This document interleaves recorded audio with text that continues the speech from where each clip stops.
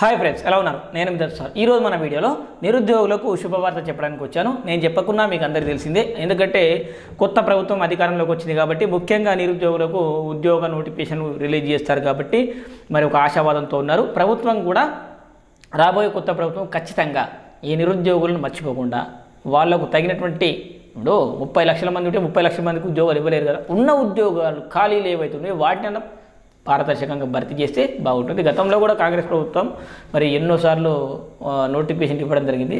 So ఏ ప్రభుత్వమైనా నోటిఫికేషన్లు ఇవ్వాల్సిందే. అటు టీఆర్ఎస్ కానీ అంతకుముందు టీడీపీ కానీ కాంగ్రెస్ కానీ ఇంకే ప్రభుత్వమైనా ఇవ్వాల్సిందే. సో గతంలో ఇప్పుడు రీసెంట్గా వెళ్ళిపోయినటువంటి ఈ ప్రభుత్వం మీద కొంత వ్యతిరేకత నిరుద్యోగుల నుంచి ఉంది. కొంతగా బాగుంది కాబట్టి ప్రభుత్వానికి దెబ్బపడింది. ఇప్పుడు మరి కొత్త ప్రభుత్వం అయితే రావడం జరిగింది. ముఖ్యంగా నోటిఫికేషన్లు అనే అంశం మీదనే సాగింది. కానీ ఉద్యోగాలు మాత్రం రాలేవు అనే మాట వాస్తవం. ఎందుకంటే గ్రూప్ వన్ నోటిఫికేషన్ ఒక్కసారి కూడా ఫిల్ చేయలేరు. ఎందుకంటే ఉన్న ఒక్క గ్రూప్ వన్ నోటిఫికేషన్ ఒకసారి నోటిఫికేషన్ వచ్చింది రద్దయింది. రెండోసారి నోటిఫికేషన్ వచ్చింది రద్దయింది. రెండు సార్లు కూడా రద్దు అయిపోయింది గ్రూప్ టూ ఊసేయలేదు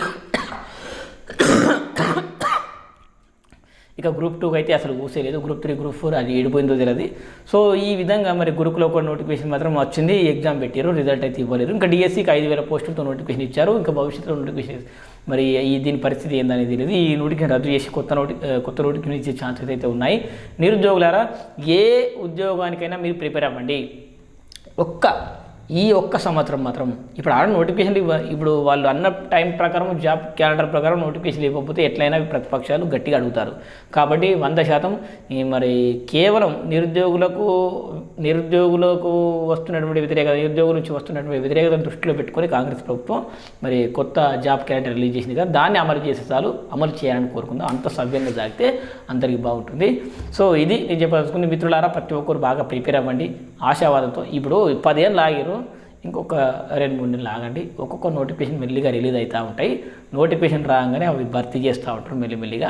మీరు ప్రిపరేషన్ ఎట్టి పరిస్థితుల్లో ఆపద్దని గతంలో కూడా నేను వీడియోలో చెప్పిన ఇప్పుడు కూడా చెప్పిన ఎట్టి పరిస్థితుల్లో మీరు ప్రిపరేషన్ ఆపద్దు. ఎందుకంటే మీరు ప్రిపరేషన్ ఆపేస్తే ప్రిపేర్ అయిన వాళ్ళకి లాభం అవుతుంది. ఒకవేళ మనకు మంచి అవకాశాలు కలిగినప్పుడు ఛాన్స్ దొరికినప్పుడు ప్రిపేర్ అయిన వాళ్ళకు బెనిఫిట్ అవుతుంది. కాబట్టి నేను చెప్పేది ఒకటే అందరూ ప్రిపేర్ అవ్వండి. ప్రతి ఒక్కరు గట్టిగా ప్రిపేర్ అవ్వండి. ముఖ్యంగా డిఎస్సి అభ్యర్థులు కానీ కానిస్టేబుల్ అభ్యర్థులకు రిజల్ట్స్ వస్తాయి భర్తీ చేస్తారు గురుకుల అభ్యర్థులకు నో ప్రాబ్లం ఇప్పుడు డిఎస్సి అభ్యర్థులకు ఉంది. Group one group two group three group four ఇవి ప్లస్ ఇవి. అంటే ప్రతి ఒక్కరికి నోటిఫికేషన్లో వచ్చే అవకాశం అయితే ఉంటుంది. ఈ నోటిఫికేషన్లు వస్తే అందరికీ బాగుంటుంది అందరు చదువుకుంటారు. సో నేను చెప్పదలుచుకుంది ఒకటే. జస్ట్ ఈ గవర్నమెంట్ విన్ అయింది. కొత్త ప్రభుత్వానికి మన నిరుద్యోగులందరి తరఫున మరి శుభాకాంక్షలు తెలియజేయాలి.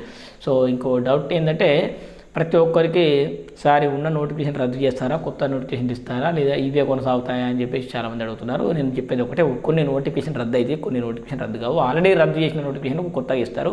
సరే వాళ్ళు చెప్పినటువంటి విధానం ప్రకారం అయితే నిరుద్యోగులు ఎలాంటి ఫీజులు వసూలు చేయమని చెప్పారు. మరి ఎలాంటి ఫీజులు వసూలు చేయకుండా మరి ఎట్లా నిర్వహిస్తారు అనేది చూడాలి. మరి కొత్త ప్రభుత్వం మరి ఎంతోమంది ఆశలు పెట్టుకున్నటువంటి గంపెడాశలతో మరి తెలంగాణ నిరుద్యోగ యువత ఉంది. వీళ్ళందరికీ కూడా వాళ్ళ ఆశలు ఆశలు ఎంతో ఉంటాయి.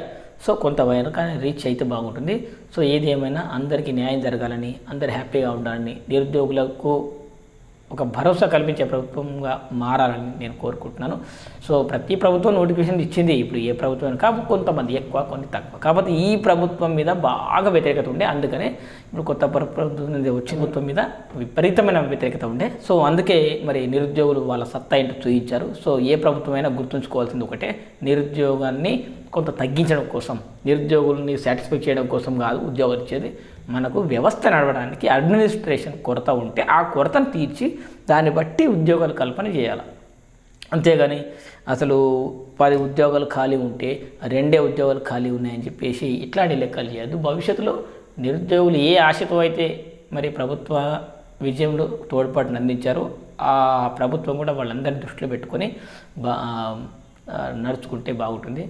సో కొత్త ప్రభుత్వానికి అభినందనలు. మొత్తం మీద మీరు ఏమనుకుంటున్నారు?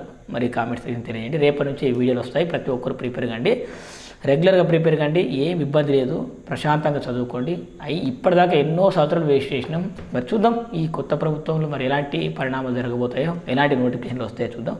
సో అందరికీ all the best. Thank you thank you friends bye